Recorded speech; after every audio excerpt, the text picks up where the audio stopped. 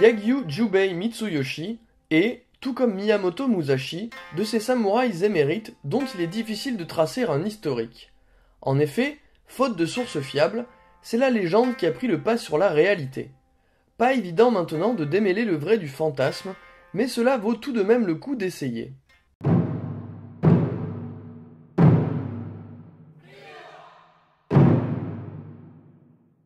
Mitsuyoshi est le fils d'un samouraï non moins talentueux, Yagyu Munenori. Ayant particulièrement brillé à la bataille de Shekigahara, celui-ci deviendra l'un des Hatamoto de la maison Tokugawa. Héritier de l'école d'escrime Yagyu Shinkage-ryu, il en fondera la branche Edo, en opposition à la branche originelle, la Owari Yagyu Shinkage-ryu, tenue par son neveu Yagyu Yogonosuke.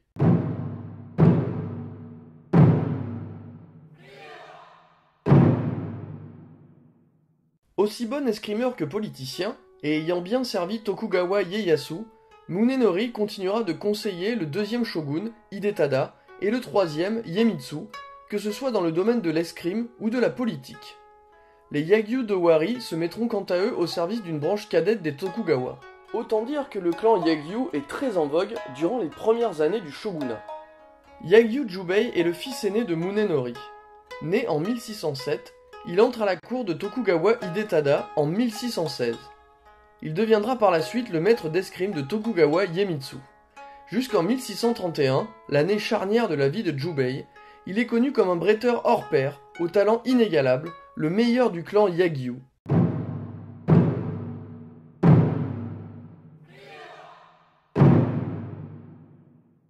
En 1631 donc, Yagyu Jubei Mitsuyoshi est renvoyé de son poste de maître d'escrime de Tokugawa Iemitsu et est mis au banc du shogunat.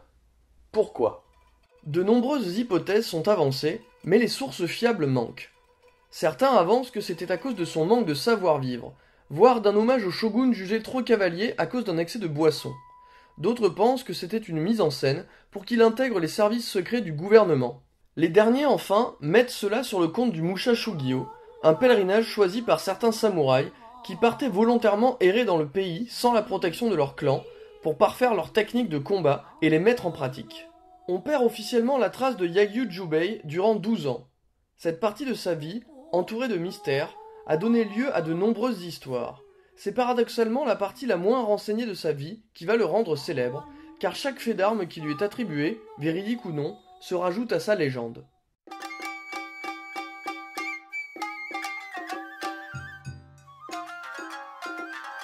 L'une de ces histoires a inspiré une scène extrêmement connue du film Les Sept Samouraïs. Alors que les deux samouraïs s'affrontent au Boken, l'adversaire de Jubei conclut à une égalité. Mais Jubei affirme que, s'ils avaient été armés de vraies lames, il aurait gagné ce duel. Piqué au vif, son adversaire le défie au katana. En une seule coupe, Yagyu Jubei terrasse son adversaire. Voici la scène du duel dans le film, imitée de nombreuses fois dans des œuvres postérieures.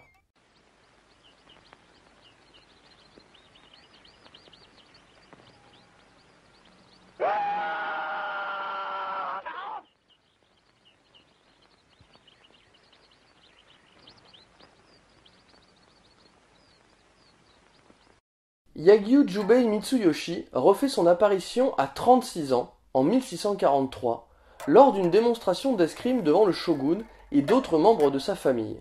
On prend alors la véritable mesure de son talent. Suite à cela, il sert le shogunat en tant qu'inspecteur. Il réside à Edo durant quelques années, même après la mort de son père, le 11 mai 1646. Il finit par quitter son poste et regagne son village natal, Yagyu no Sato, non loin de Nara, pour y mourir le 21 avril 1650. Tout comme sa vie, la raison de sa mort reste assez floue.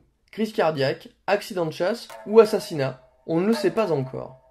Il est à noter que Yagyu Jubei Mitsuyoshi a écrit un traité, Tsuki Minosho, ou le livre de la contemplation du clair de lune. On y trouve surtout des enseignements issus de son école d'escrime, des réflexions recueillies auprès de Takuan Soho, ami de son père et moine bouddhiste, et quelques indices sur ses activités, lorsqu'il fut mis au banc du shogunat, activités qui lui ont permis d'aiguiser ses talents.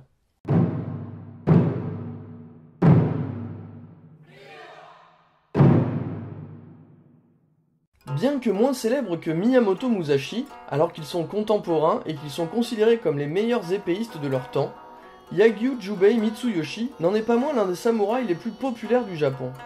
Il a en premier lieu grandement aidé au développement de l'école d'escrime Edo Yagyu Shinkage-ryu, de par son talent, et dont les techniques sont encore enseignées aujourd'hui. Mais c'est surtout le mystère qui entoure sa vie, et en particulier les 12 ans loin du shogun, qui nourrissent de nombreux fantasmes. On l'imagine shinobi pour le compte du gouvernement, Ronin avide d'améliorer ses talents, ou justicier errant. Il n'y a qu'à voir le nombre de personnages qu'il a inspirés, que ce soit dans la littérature, le cinéma, les mangas ou encore les animés, dont le fameux Jubei Kibagami, samouraï vagabond et héros de l'excellent Ninja Scroll.